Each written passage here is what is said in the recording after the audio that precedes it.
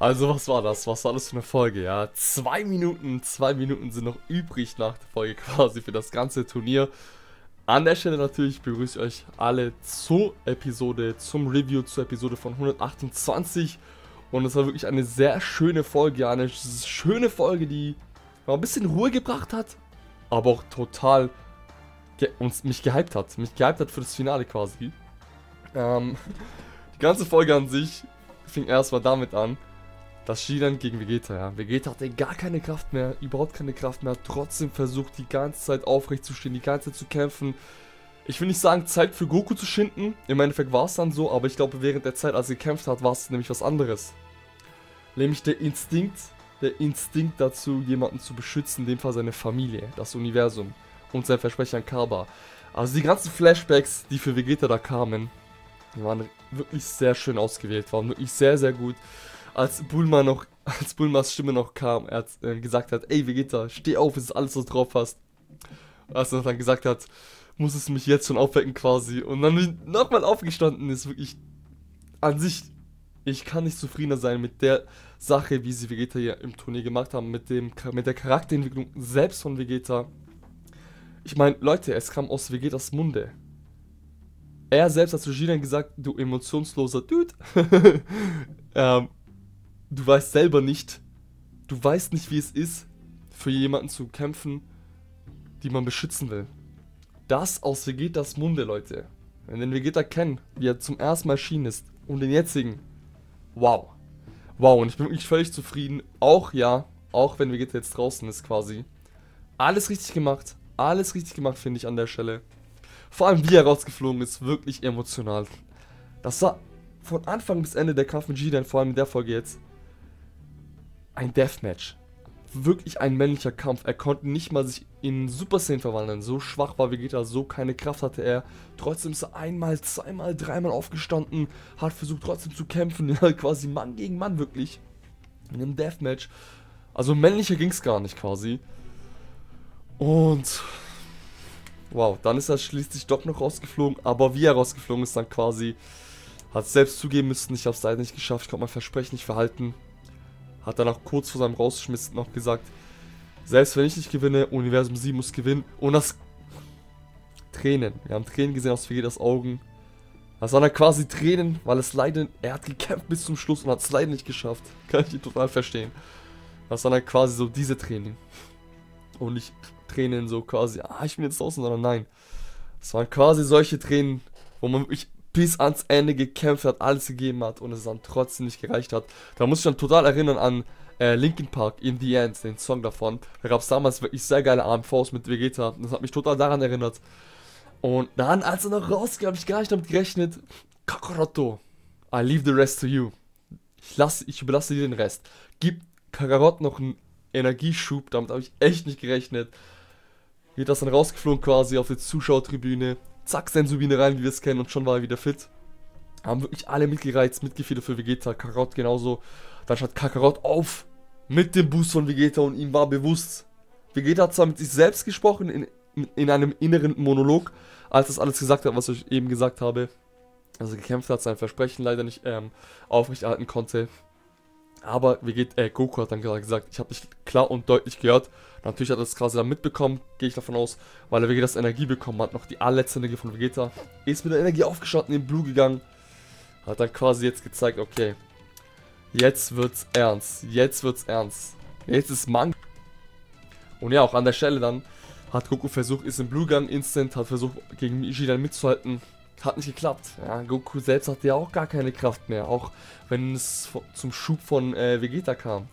Trotzdem hat Goku keine Kraft mehr gehabt.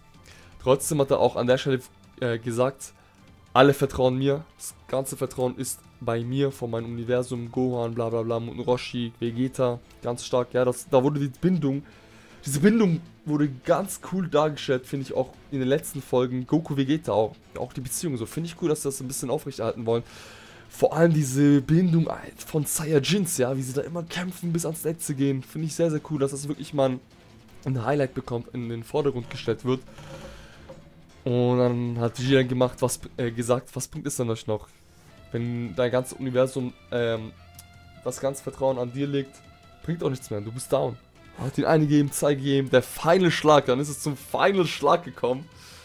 Jiren hat noch seine Faust so ein bisschen äh, einen Boost gegeben mit seiner roten Aura. Das war wirklich, das war wie in Boxen, ein Boxkampf, ja. Wenn kein, wenn nichts mehr geht, wenn keiner mehr Kraft hat und an sich so diese Kämpfe, One-on-One, -on -one, Vegeta gegen Jiren, diese männlichen Kämpfe, Goku gegen Jiren, haben mich sehr stark an Hajime no Ippo erinnert, vor allem wie Jiren da zuletzt, zu, äh, zuletzt ausgeholt hat, also an alle Hajime no Ippo Zuschauer, ihr wisst da wahrscheinlich, was ich meine.